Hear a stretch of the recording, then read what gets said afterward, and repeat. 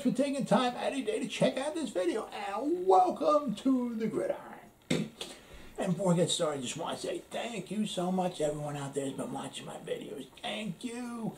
If you can maybe give this video a thumbs up or just leave a comment below or possibly share this video, it would mean so much to me. But just anyway, just thank you so much for taking time out of your day to check out this video. Thank you. Well, wow. A stellar performance from the New York football giants. I'll tell you what.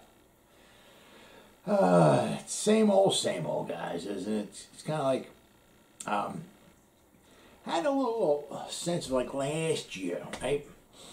Um, you know, things were kind of floundering around a little bit. Like, you know, we went on the road. Nobody gave us the chance to beat Seattle. We went into Seattle. I mean, the crowd wasn't there or nothing, but, you know, we, we went into Seattle we, with Metcalf and, you know, and, and Russell Wilson and, all, you know, and we beat them. Not that, you know, the Seattle was a phenomenal team last year, but nobody gave us a chance to win that game. And we went on the road. We won it with good defense. We won it with a ground game. We won it with a backup quarterback. Remember Colt McCoy was in there? I mean, I think we had like 110 yards passing or something, but we won. Right? I remember like the last play of the game when Seattle had the ball, like uh, Russell Wilson's like running for his life, and he just chucks the ball down field. I mean, we had pressure on him, and uh, oh man, I'm so proud of our team. So it was like you know after that game we came home, know, we had two home games, and it's like, oh man, you know, I'm not saying we were going to win both or whatever, but you know, uh, you know, we're playing the Cardinals, you know, and of course we, and then we're playing the Browns, you know, two home games, and we, we looked absolutely horrible against the Brown, uh, the Cardinals. We lost twenty six to seven, and then we lost twenty to six to the Browns, and that's kind of like what this feels like a little bit. Like two weeks ago, we went into Nolans, and you know place was going crazy and all that. New Orleans has a good team, and, and we go in there and beat them in overtime. And it's like, oh man, here we go, baby. We're turning the corner. I mean, you know, those first three losses we had, I ain't worried about it. We're on a roll now. You know I mean, um, and then we come, you know, then we go next game we play against the Cowboys and get smoked. and, and then we come home, we play the Rams, and we get smoked. I mean I mean, last year was a little different, you know, than this year. I mean, this year I said, you know, I have the injuries. I'll go over the injuries in a little bit, you know, but I mean, it just has a little feeling, you know, you know what I mean? Um, the way it was like last year. And the Giants now, they're one and five. No kid, Jeff. Yeah, but I mean, they're seven and 15 under Joe Judge. Since their last year, since 2016 when they, they were 11 and 5 and they went to the playoffs, okay, they're 19 and 51. Worst, the worst in all professional football. I mean, if you can imagine that. Uh, you know, absolutely unbelievable.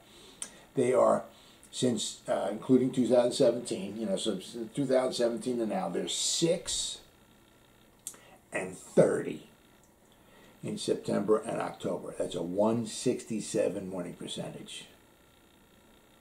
I mean, there's, you know, uh, the season's the whether Joe Judge or anybody's going to admit it, the season's over. I mean, it's it's it's a shame. It's just like almost like a, a, every year. I mean, you get a few games into the season, it's like, yep, it's over. Yeah. Absolutely horrible. Hopefully, I mean, I think the trade deadline is November second hopefully maybe we can, uh, you know, I mean, you, you know, the GM, nobody's going to admit it. Yeah, we're going to start unloading guys. No, no, nobody's, no, no, we got football left to play. We're going to, you know, that's what you're going to hear. But hopefully, you know, you know, the, the smarter thinking will start, you know, coming forward and, and we'll maybe try to get rid of a couple guys if we can. If we can. I mean, I don't know who's going to want to, you know, I mean, get, you know, trade from Evan Engram, uh, Jabrill I can't cover anybody. Peppers, I mean,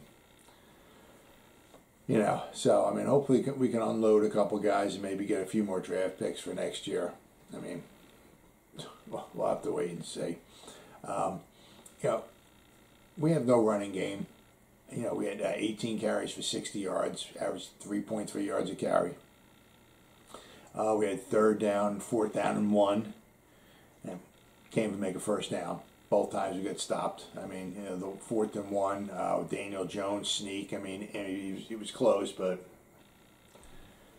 you know, we got no, we have no push in in, in, in the front there. You know, um, know, the, know we gotta, gotta do something obviously with the offensive line, and then we do need to do something with the defensive line too.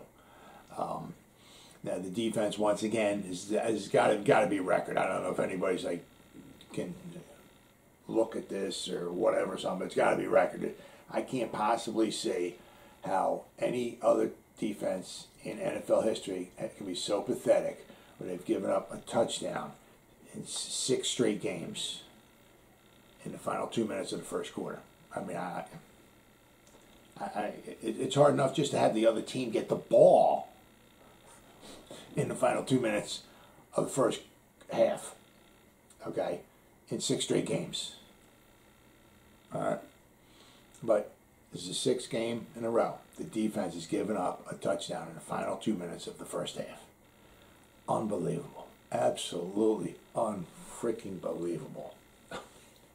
I mean, the game was a little out of hand anyway, but I mean, just, just, just pour it on. Another touchdown in the final two minutes of the first half. Uh, of course, then we had, you know, yeah, I mean, uh, the the injuries keep just keep piling up. I mean, I I, I don't even remember watching a, a game first. I don't even remember like another team guy from. You know, I mean, I'm sure I'm overlooking some, but I mean, was there anybody I can remember uh, on the other team like actually even limping off the field and then during any of the games? I mean, have you seen anybody on the even sneeze or cough or, or anything? I mean, every every time somebody's down, it's a giant. I mean, oh, he's down. Oh, they're talking about yeah, he's out for the game. Yeah, or I mean, this time he had the C.J. Board. I already broke his arm. He's out for the season. had, a, had a nice uh, uh, return, 37 yards, and broke his arm. Uh, uh, Andrew Thomas, you know, he went in there, and then you know he was out, and you know after that Nate Solder he got hurt. He came out, he came back in, and you know he he looked like a turnstile.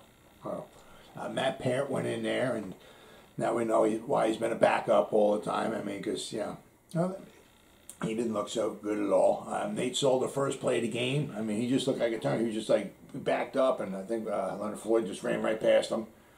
Sacked. Daniel Jones fumble. And of course, it's all on Dan. Daniel Jones fumble ball. Well, you know, if you have a 270, 80 pound guy running at you, hitting you full speed, yeah, you might fumble the ball too. You know, oh, it's Daniel Jones. No, it's it's we can't block anybody. Okay, I mean, what an absolute freaking joke. Uh, then of course, Kadarius Toney had three catches, made guys miss all over the field, this, that, and the other thing, right? And then of course he winds up limping off the field. I mean, it's just it's absolutely unbelievable, absolutely unbelievable. There's no other there's no other team in in in football. Okay, you know, if you take out their starting running back, right? Um, like I mean, like like like just look look at the uh, just, just take the Bucks for example, right? Put Tom Brady in there, okay? But take out his uh, left tackle, his left guard, and his center. Put backups in there. Uh, Leonard Fournette, nope, you got your backup in there. Um, the, Gronkowski's not in there, okay, so that's good, okay. But then uh, take out Goodwin uh, and uh, Goodwin and um,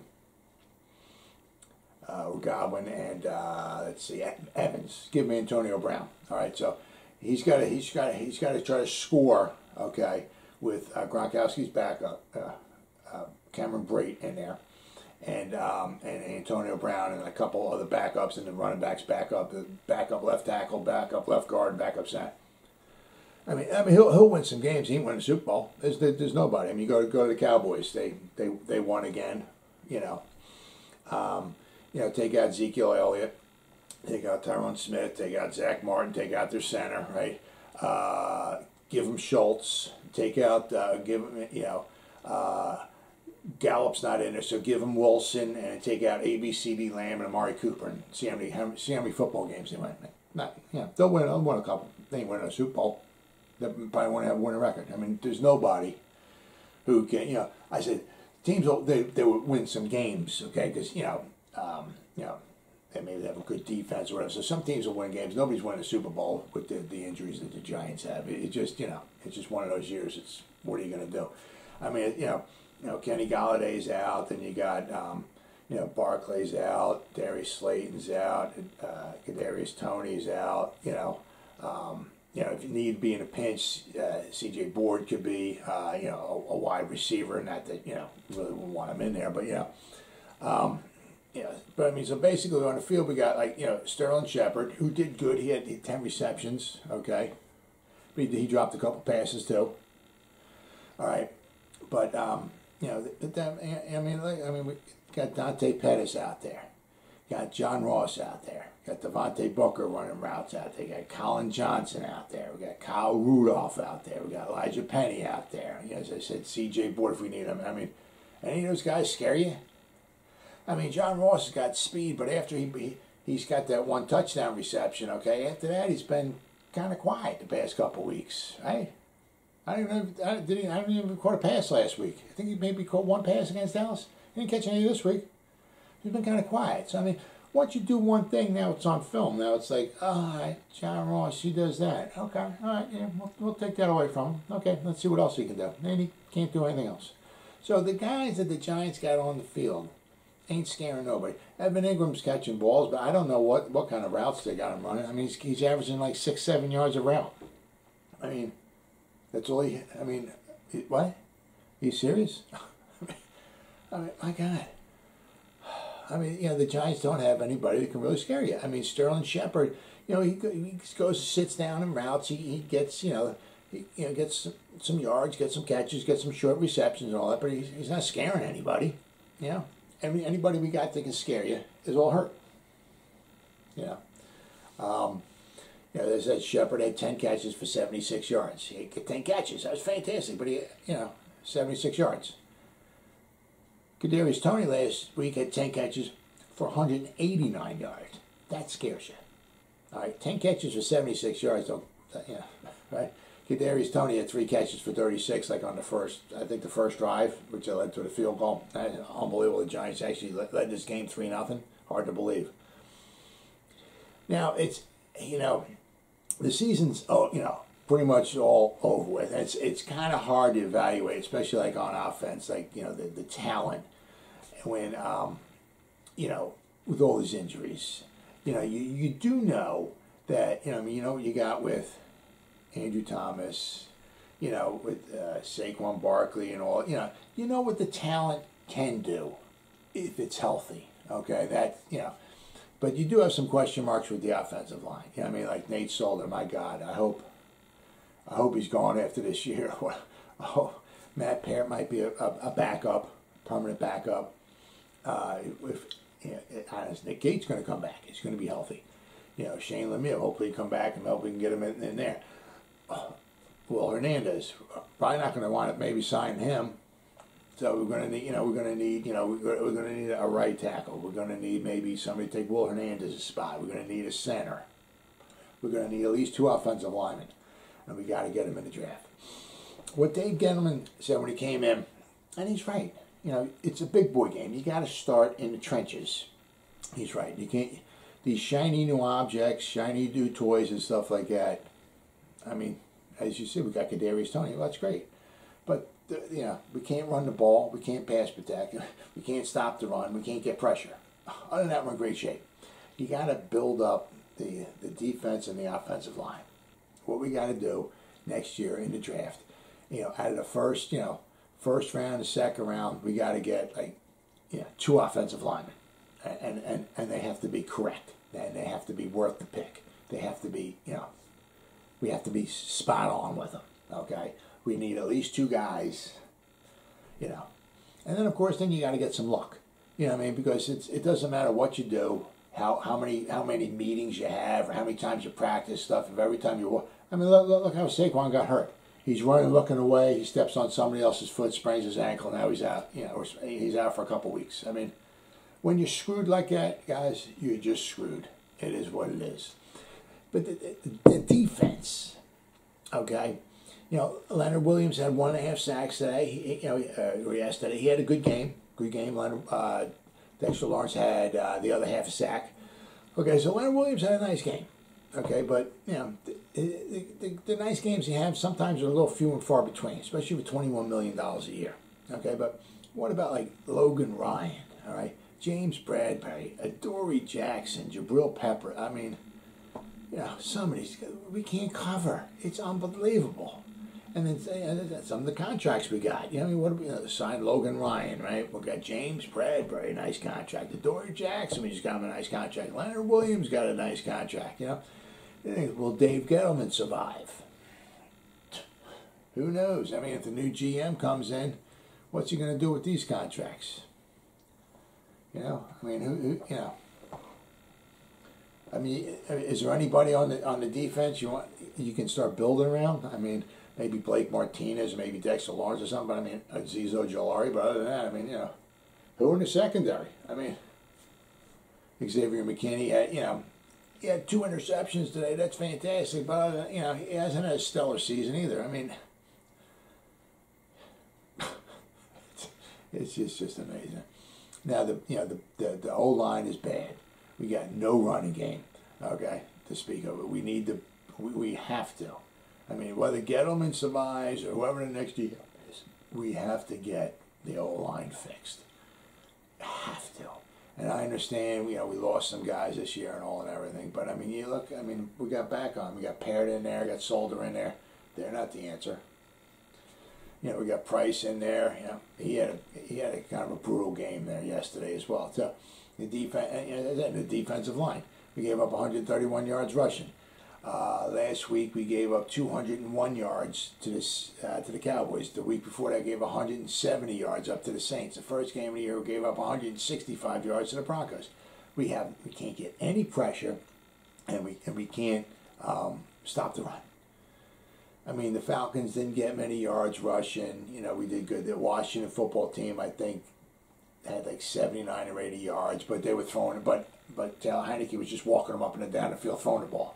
So why run the ball if you you know you stand in the pocket with no pressure and just uh, walk walk your team up and down the field scoring touchdowns left and you know you don't need a running game, right? So I mean we got to beef up the offensive line, got to beef up the defensive line, and it, you know I said the, the, the coverage is just unbelievable, absolutely unbelievable. And then you think, you know, and you know, Dave Gettleman, you know, he's talking about beefing up the offensive line and the defensive line. And, you know, he came in like the end of 2017, and basically, you know, we're no better off than we were when he when he took over.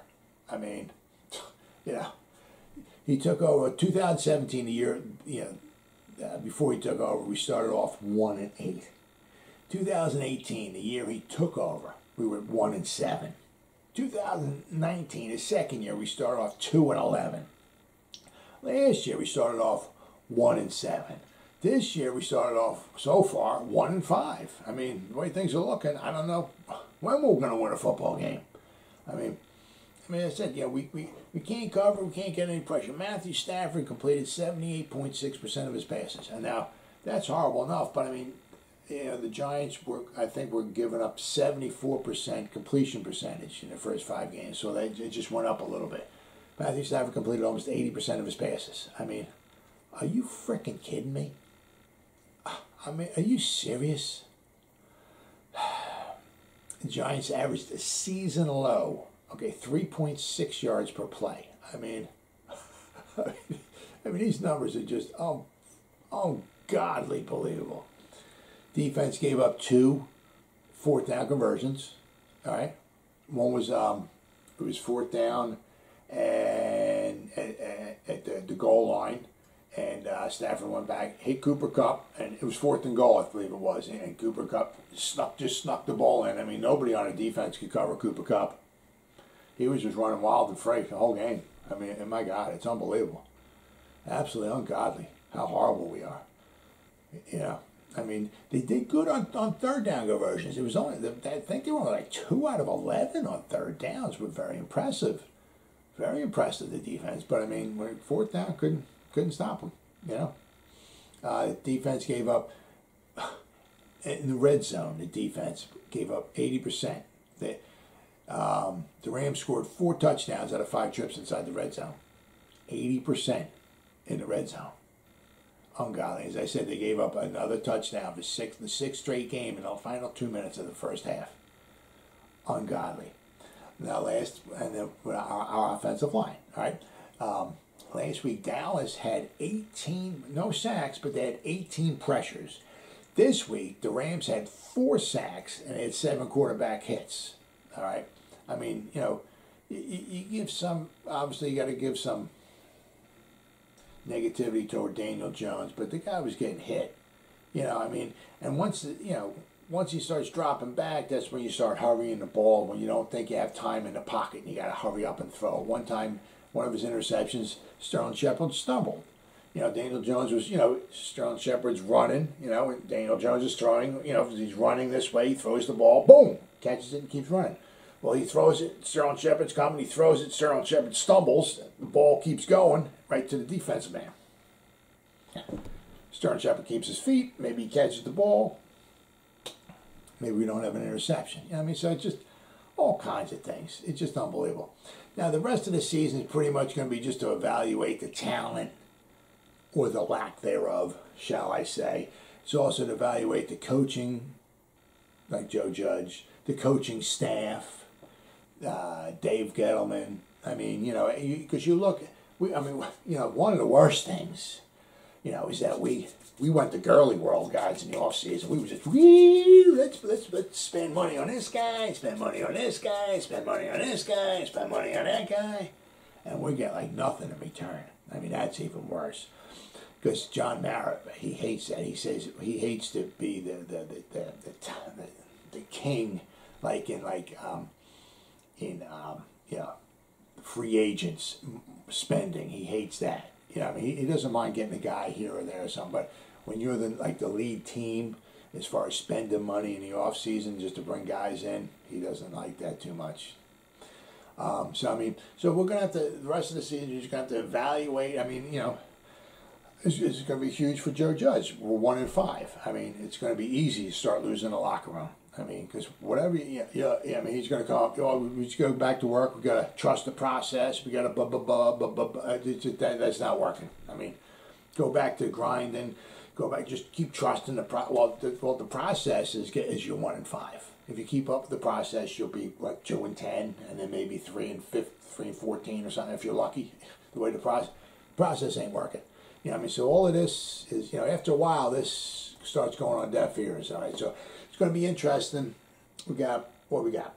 So we got 11 games left. Right, so it's going to be uh, uh, John Mara is going to have to start evaluating whether you know Joe Judge is, is, is the guy for the job. I mean, because you know we start we we ended five and three last year, but now we're starting one and five. We started one and seven last year, starting one and five this year. We're getting blown out. Absolutely embarrassed Absolutely.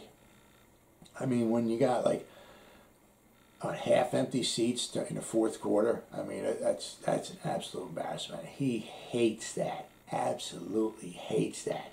And instead, then you got to look at like um, Dave Gettleman. He has uh, this is his fourth season. You know, at the end of the season, you look back and it's you know, you know it's like, are we any better than we were, you know, four years ago when we took and took over? And the answer is probably no.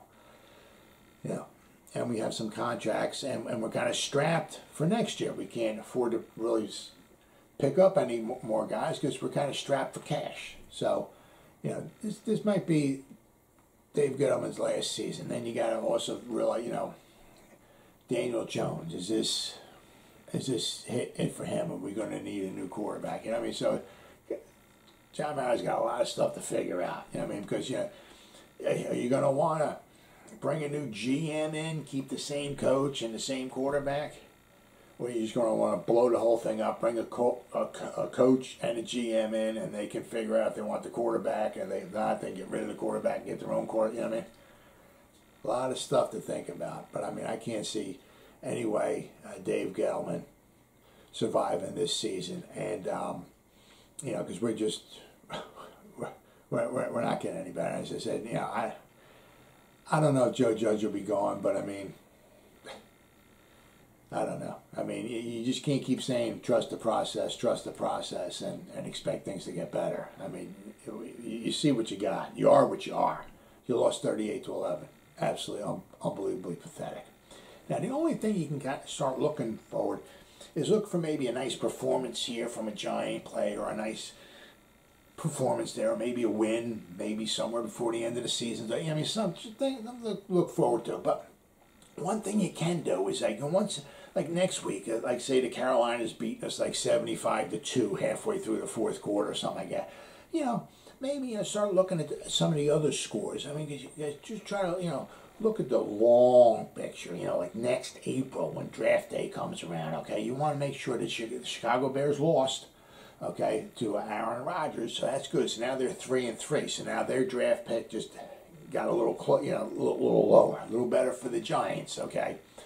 Um, but I mean, you got like, um, you know, you want the Eagles.